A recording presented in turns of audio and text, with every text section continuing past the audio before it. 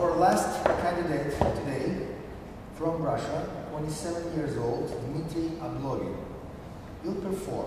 Medtner Fairy Tale Opus 20, number one, Shor Air from the Sweet Childhood Memories, and Mendelssohn